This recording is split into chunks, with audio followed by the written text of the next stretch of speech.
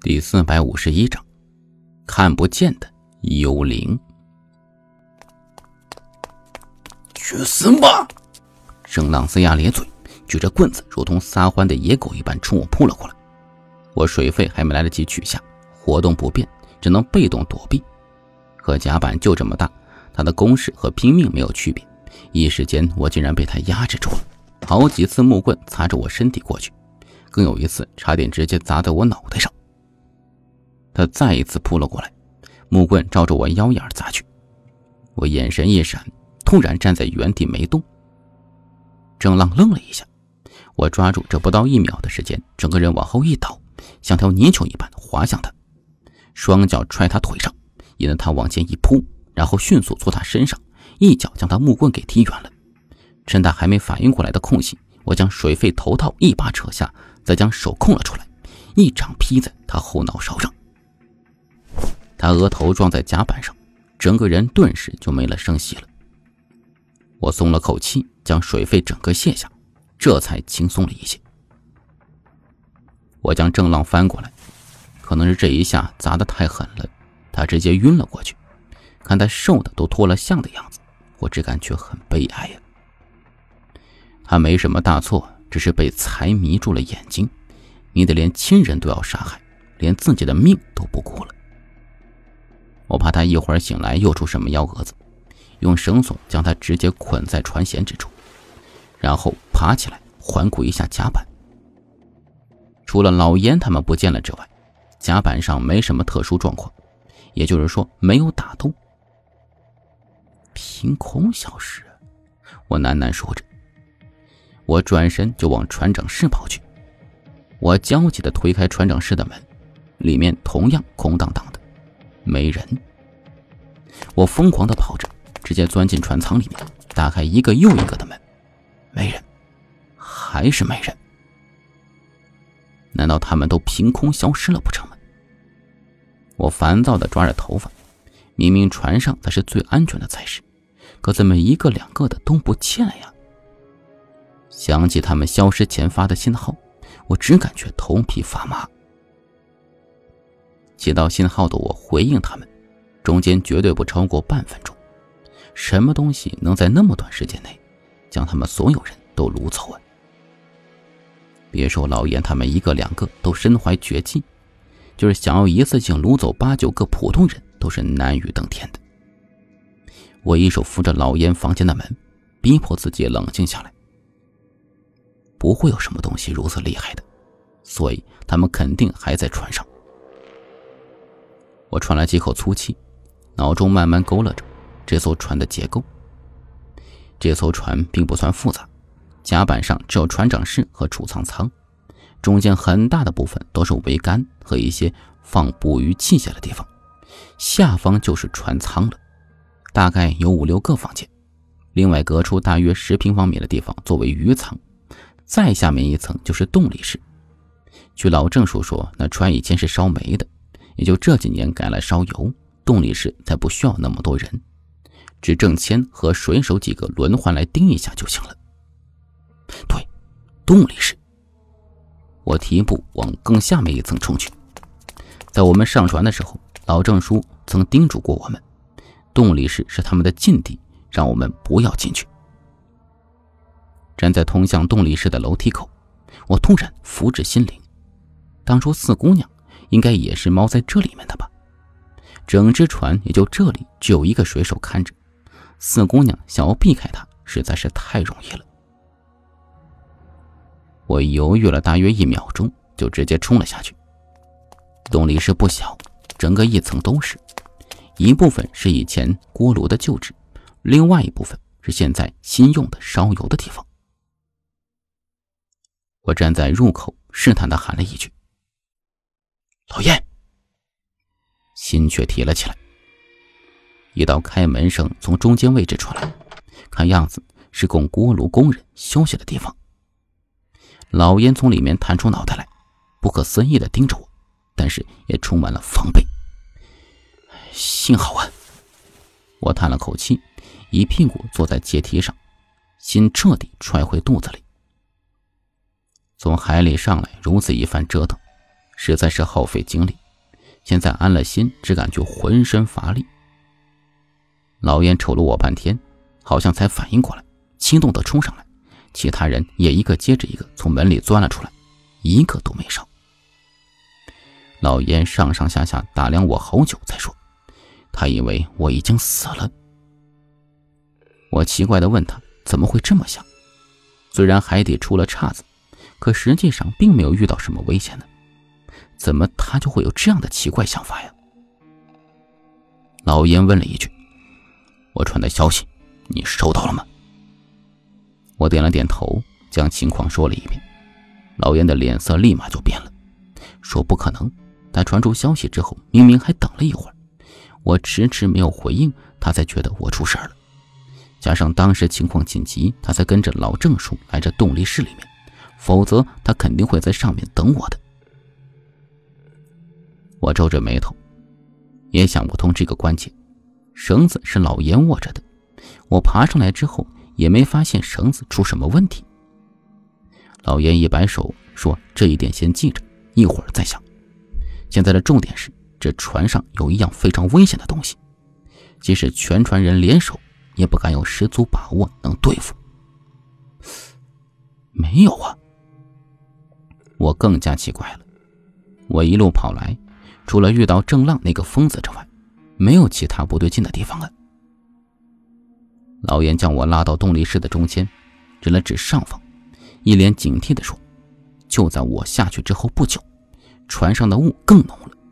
就在这时候，一个东西窜了上来，他们谁也没看到这东西的样子。”但接二连三的，却有人被推着往海里掉，幸亏他们反应快，才拉住这几个人。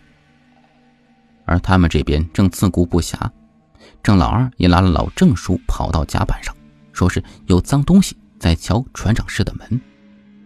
一开始他以为是老烟他们其中一个，但是一开门又没见人，顿时起了警惕心。等敲门声缓了一些的时候，他迅速跑了出来。老郑叔还说，郑老二拉着他跑的时候，他感觉有什么东西拽住他。他回头看的时候，那东西就放开了，像是藏进屋里面去了。我听的是毛骨悚然的，这听起来好像是，像是有鬼呀。老严这一次没有明确的反驳我，眼里也是深深的疑虑。不是。铿锵有力的声音反驳传来，我惊愕的看去，只见老郑叔正靠在那里，脸色已经恢复如常。俺这些年神神鬼鬼的东西听多了，也见多了，没有哪个是真的。你们呢，都是干发死人财的，还信这个呀？可是他的话，也没让我们忧虑减少。浓雾出现之后，很多事情已经超出了认知了。第四百五十二章，生死危机。老烟一屁股坐在地上，少见的抓了抓头发，烟一根接着一根，每根抽不到一半，就被他烦躁的掐灭了。我想说什么，却被昆布拦住了。他做了几个手势。顿时和我一样想去劝慰的牙仔也没了动静。二十分钟之后，一包烟见了底，老烟也恢复了平静。他用烟屁股在地上戳着，一字一句地说：“老郑头说的没错，不会是鬼。既然不是鬼，那么就是人了。人？我惊疑不定，什么人能够打得大家措手不及？”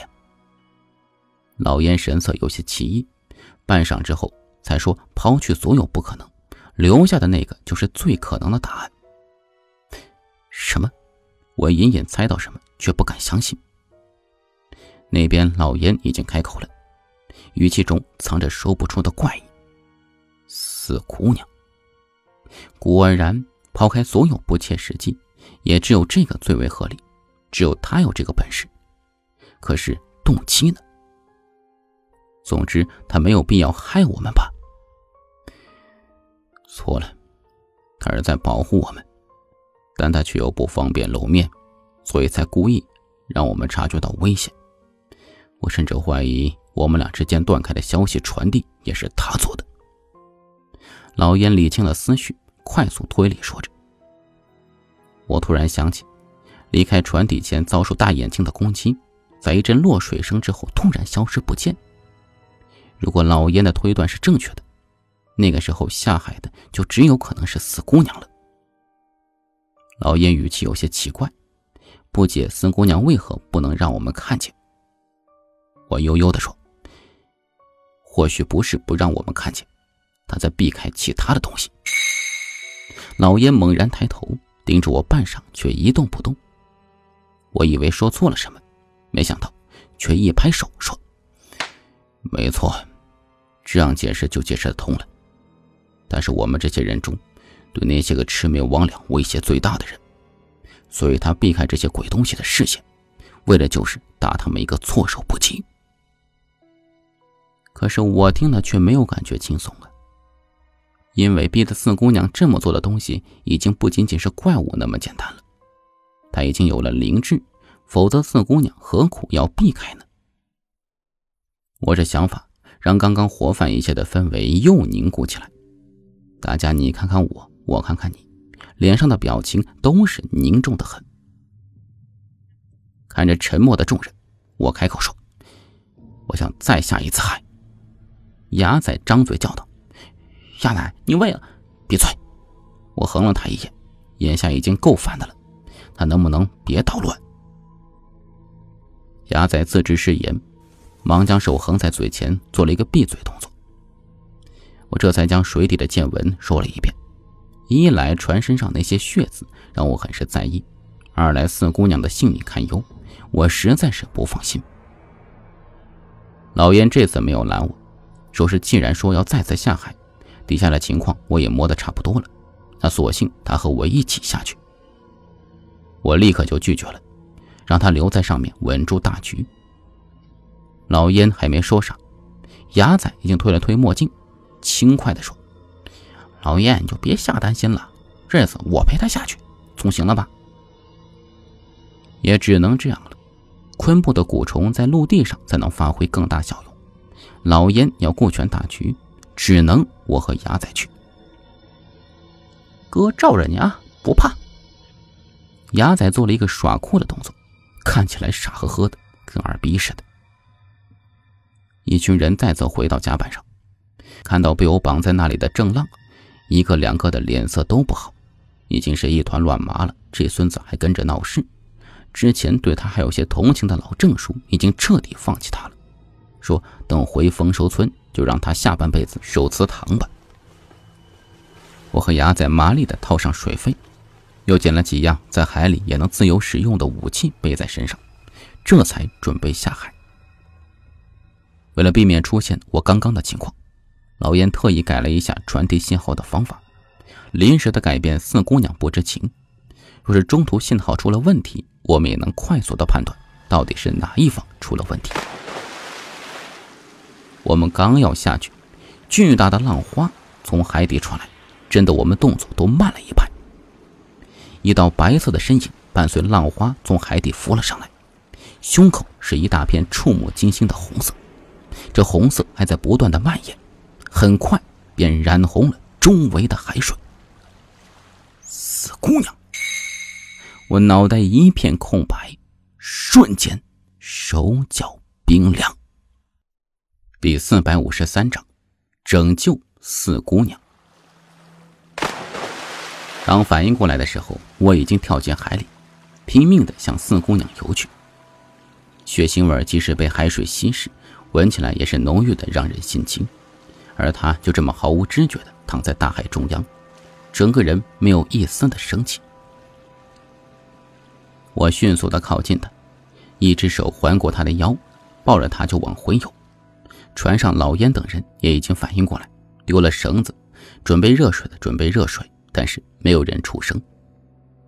牙仔和昆布费力地将我们俩拉了回去。许教授立刻蹲在四姑娘身边检查她的伤口。许教授喃喃地说：“奇怪了，没有伤口啊。”我怀着心急问他：“是不是这血根本就不是四姑娘的？”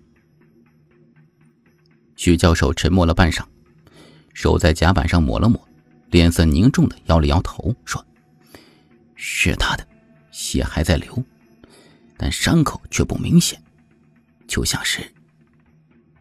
他想了好一会儿，连比划带解释，说：“像是一只被戳破无数小洞的气球，到处都在漏气。”我焦急问他怎么办，徐教授叹气说：“他没有办法，因为伤得太重，而且我们队伍中并没有医术高手，这样的情况怕也只有药罐子死而复生才能救治。”我当机立断：“那我们返航。”老燕立即反驳说：“不行，我们已经在海上漂泊几天，怕是一两天就能到正义扫墓了，现在回去只能功亏一篑。”而且四姑娘能不能撑到回去还都不一定呢。是啊，就算回去一路上都风平浪静，最起码也要三四天的时间。四姑娘血堵不住，这么长时间血都流光了，就算回去又能有什么用呢？我怒吼道：“难道眼睁睁看着他死吗？”老燕拍了拍我肩膀，一副愁眉不展的样子。而许教授和牙仔还在努力着，而堵了这里，那里又开始被血冲开，堵来堵去的，没见一点用处，而甲板上已经全都是血了。我眼眶瞬间变红了，我吸了吸鼻子，忍着不让眼泪往下掉，可却忍不住。这可是四姑娘，我放在心尖上的四姑娘，怎么就这么莫名其妙的出事了呢？他一向孤傲，与我们仿佛来自于不同的世界，看起来清冷，但实则每次我们有难，他都会尽力帮忙。多少次若不是他，我们早就葬身在不知哪座墓里了。可是现在他出事我们竟然没有一个人有办法。或许我们从未想过他会出事吧。长安，虚弱的声音传来。我只觉得像是幻听，直到这声音再次重复了一遍，我才相信真的是四姑娘开口了。周围的人是一片震惊，谁也不敢相信，血都快流干的情况之下，她竟然还能开口，并且看起来仿佛没有大碍一般。若是忽略他那苍白如纸的脸色，我忙握住他的手，俯身问他有什么话要说。他轻声说：“带我去动力室。”我二话不说，将他抱了起来，以百米冲刺速度冲向动力室。老燕他们在身后跟着，凌乱的脚步声踩得我心里烦乱。一路上，四姑娘都没再说一句话，她的身体冷得像冰块，要不是我还能感受到她微弱的心跳声，我真以为她已经走了。到了动力室，四姑娘虚弱的声音再次响起：“长安，将我放下，然后你们都出去。”我不敢置信的问：“什么？”他却没有力气再说话了，只是一双眼睛依旧凌厉的盯着我。我心中有些慌，怕我一走他就会出事情，所以迟迟没有动作。长安，快走，别耽误时间。老严突然上前拽住我的胳膊，示意我将四姑娘放下。我讷讷的不知道该怎么办。老严已经替我做了主，然后拉着我迅速离开动力室，还将通往动力室的唯一入口给关上了。我终于反应过来，转身就要回动力室，老烟的手如同钳子一般将我禁锢住，拉着我就回到甲板。其他人自然也跟着我们回来，谁也没有留在那里。我哽咽着说：“怎么能留他一个人在那儿呢？”老烟白了我一眼，神色虽然不轻松，但是也透着些许的喜悦。放心，四姑娘不会有事的。我瞪大了眼睛：“怎么会呢？那血，血都流完了。”老燕一屁股坐在甲板上，指了指依旧浓厚的雾，就说：“与其担心四姑娘，你还不如担心我们怎么冲出这团迷雾吧。”我默然不语，其他人也不知道老烟葫芦里卖的什么药，一时间也没有人搭话。老烟笑了一声，解释说：“你们还别不信，刚刚我也是吓糊涂了，现在算是明白了。四姑娘以前也出过这种事情，不比这次还要严重。可之后她一个人待了两天，什么事都没了。”看起来倒像是睡了一觉似的。大约十年前，老严和四姑娘还不是很熟，但也知道七零幺有这么一尊大佛。当时他年轻气盛，也没太将四姑娘放在眼里，只觉得不过手段高强一些的圈内人罢了。但有一次，老严带着七零幺前往一座主人不明的将军墓里，墓里机关一环扣一环，而且不按常理出牌。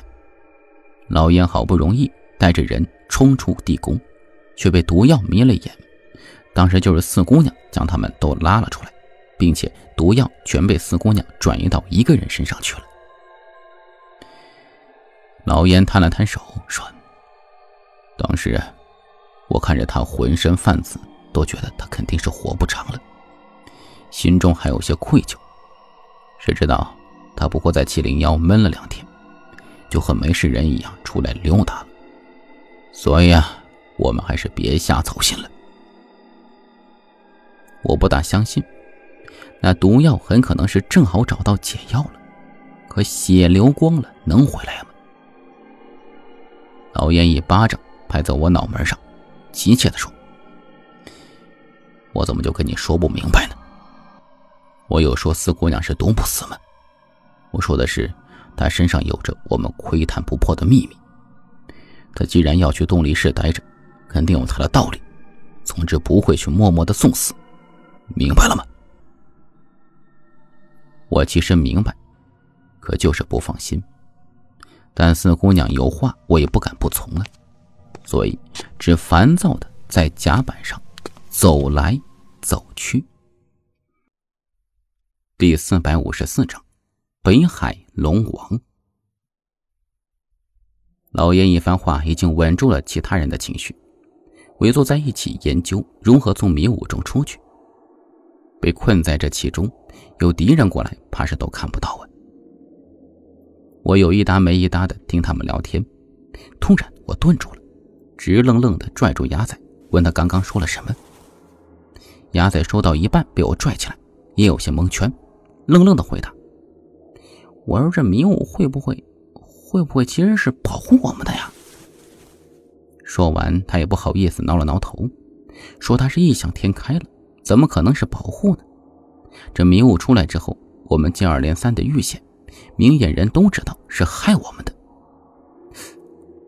不，不对，我豁然开朗，这迷雾不说是保护我们，但是也绝对不是害我们的。”因为若不是这迷雾逼得我们停船，底下那东西很有可能会掀翻我们的船。我越想越兴奋，忙问老郑叔：“掌舵出现问题是在浓雾出来之前，还是出来之后？”老郑叔想了一想，一拍大腿，说：“在浓雾出来之前，他就已经感觉吃力了。当时只觉得是因为逆风的关系，现在想来，或许已经有东西在阻挠了。”我忙点点头，这就没错了。后来老郑叔想要停下来，那东西感觉到了，所以才露出行踪。否则我们就是翻了船，都不一定知道还有东西在作怪呢。老烟皱着眉头说：“你的意思是，我们不用管这迷雾吗？”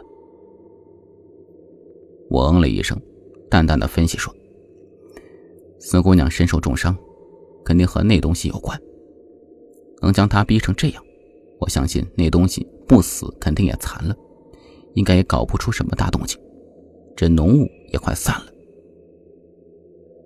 我推测完了，心中其实也是没底。老严他们也是将信将疑，但因为没有新的情况出现，也只能暂时信我的推测，先按兵不动。听，有响声。老郑叔突然蹦了起来，冲船舷就过去了。老严赶紧拉住他，让他待在原地。老郑叔也知道自己有几斤几两，后退几步，换老烟去看。响声越来越大，我的心都提了起来，直接从后腰摸了一把匕首，缓缓的靠近船舷。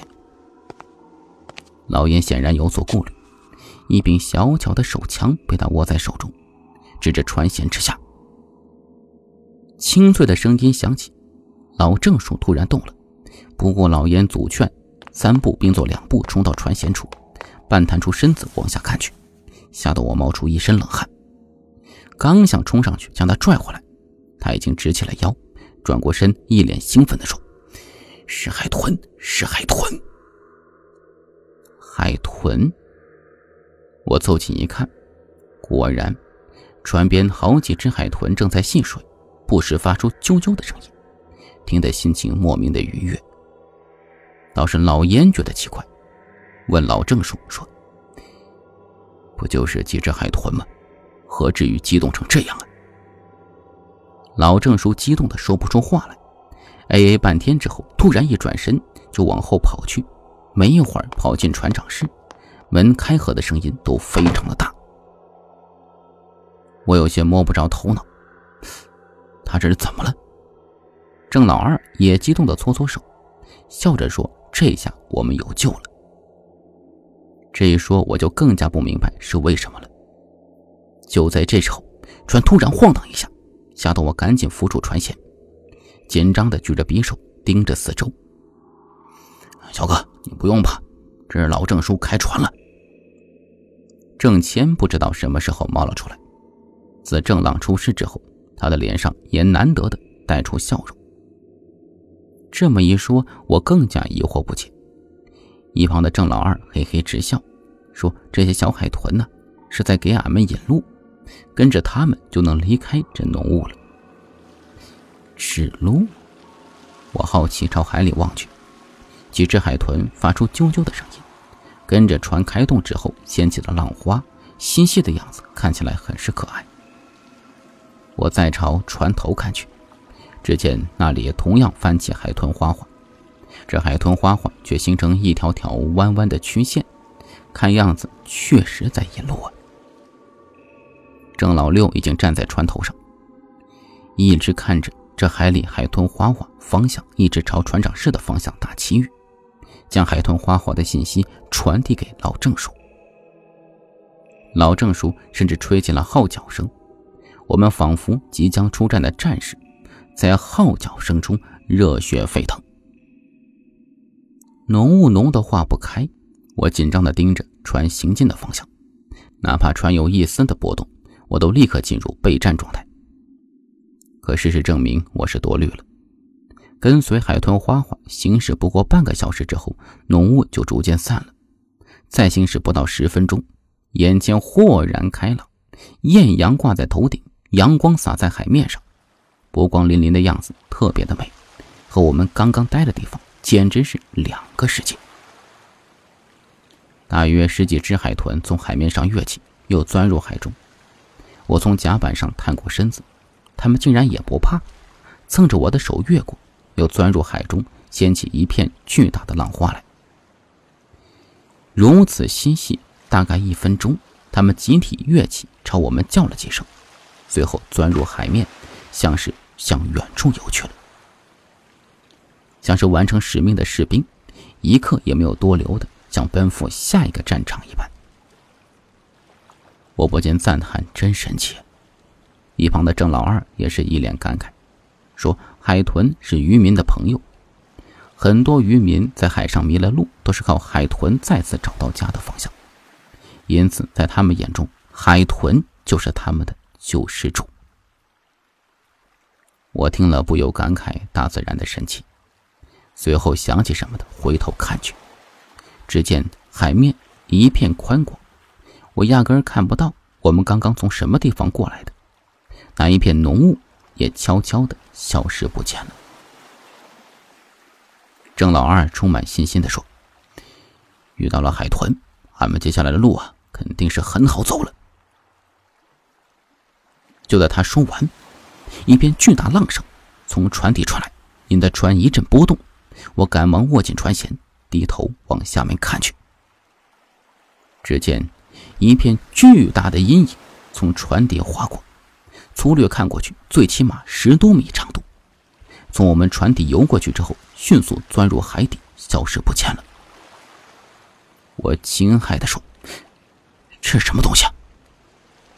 郑老二已经跪下了，其他水手以及郑谦也都跪下了，就连不得不掌舵的老郑叔也从船长室跑了出来，朝阴影消失的方向跪拜下去，嘴里念念有词。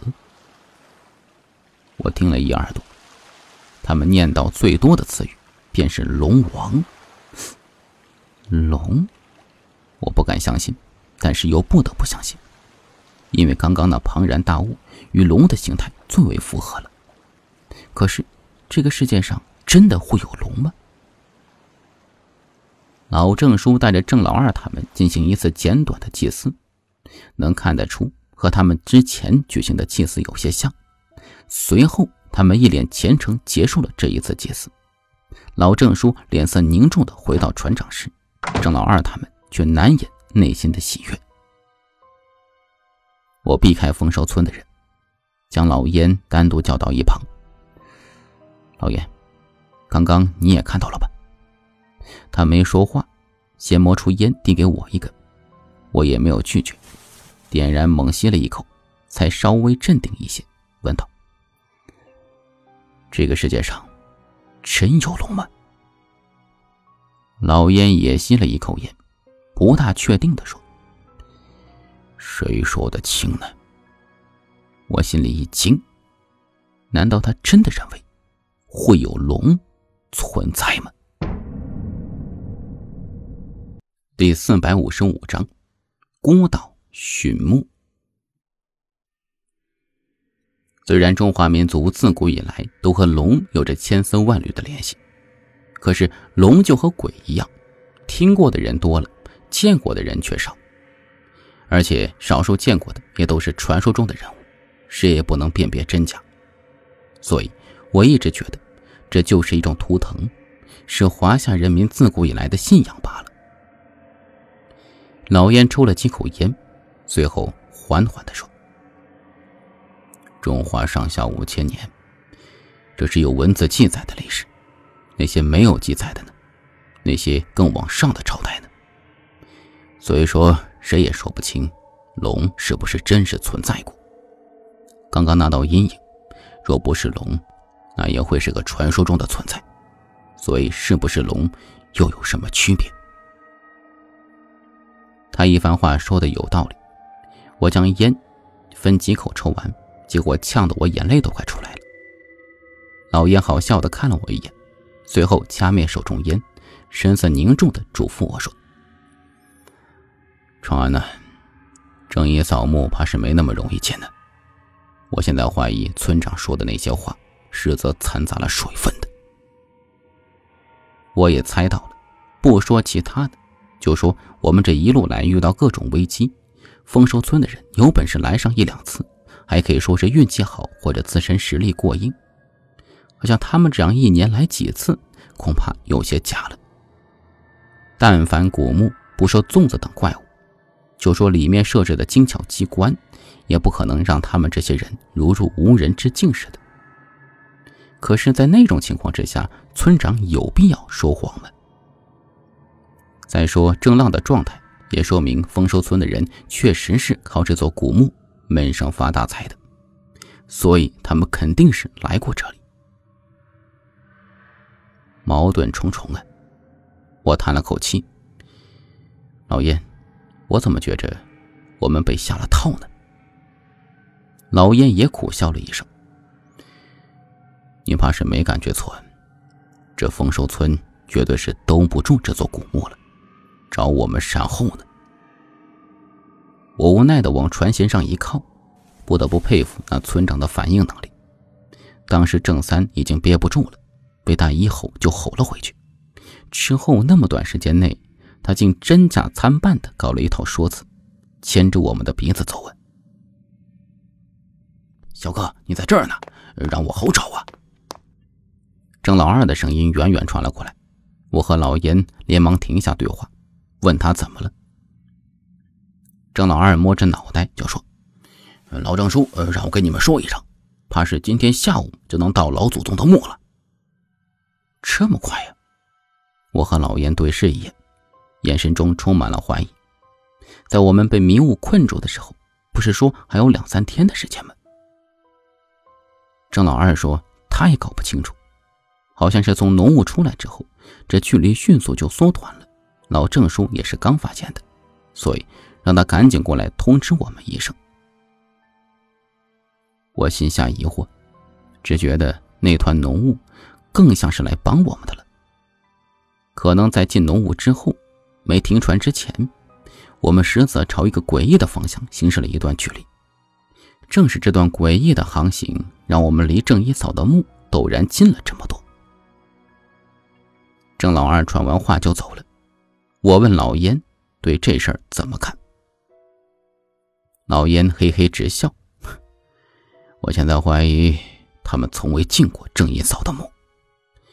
这一下子有意思了。”我转瞬一想，就明白他的意思。丰收村的人可能知道郑一嫂的墓的位置，可是却没来过，否则不会连老郑叔这样的高手都会一路上接连碰壁。他们所谓的靠墓吃饭，很可能是临时编的。现在想来，丰收村看起来是座普通的村子，里面一件流行奢侈品都没有，根本就不像是有钱的样子呀。那他们是做什么呀？我浑身一激灵，抬眼看向老燕。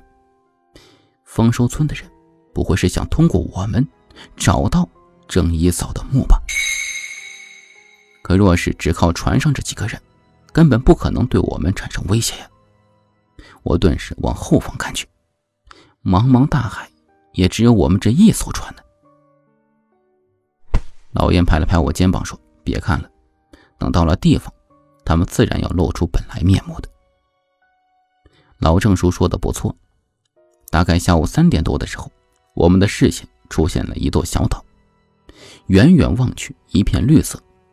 郑老二他们激动地说：“这就是老祖宗的墓。”我狐疑地盯着他们，他们的样子实在不像是来过这里。可能是我的视线太过灼热了，郑老二的笑容收了收。说他很久没有来过了，也不知道老祖宗的墓现在是个什么样子。我没接话，只是看着船离岛屿越来越近，心中也越来越激动了。四点半的时候，老郑叔抛了锚，将船停在相对平整的沙滩上。我们这边准备今天就下船，老郑叔却说，眼看天就要黑了，还是等上一晚。谁也不知道岛上有什么，天黑了上去更容易出事情。老烟也没有坚持，只是奇怪的说：“你们不是来过几次吗？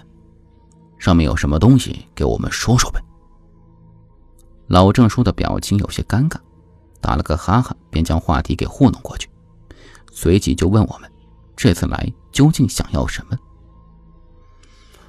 我也不瞒你。我们是有国家使命的，想从这座墓里带走一样东西。当然，前提是这东西真实存在。老燕摊了摊手，笑道：“我们就是这群人，为了一个虚无缥缈的东西，就要跑断腿呀！”聊了半天，大家都各怀鬼胎，说话真假参半，谁也没有讨到什么便宜。索性就歇了聊天的心思，各自回房间睡觉了。一夜无话。第二天太阳刚升起，我们便依次下了船，踏上这个风景秀丽、实则暗藏杀机的岛屿。临下船前，我来到动力室的入口处，聆听里面的动静，却什么也听不到。我试探的喊了几句，四姑娘也没有回应。我有些担心，这时候老烟却来喊我，说是到时候四姑娘自然就会醒了。我也没有其他办法，只能跟着老燕他们下了船。雅仔感慨说：“这里景色不错呀。”说他原以为会是一座毫无生机的岛屿呢。其实，在我看来，一般有古墓的地方，植被反而会更加茂盛。原因有些恶心人，就是尸体其实就是最好的肥料。老燕让老郑叔带路。后者一脸为难，说：“在海上他没问题，可下了地就没辙了。让他带路，也就跟个瞎子没啥区别。”老燕单刀直入地说：“老郑头，我也不和你说虚的。丰收村的人真的来过这座古墓吗？”老郑叔没想到他会再次提起，神色有些尴尬。但没等他说话，老爷说：“如果来过，烦请你们带路；如果没有来过，也请实话实说，不然我们也没义务为他们寻墓。”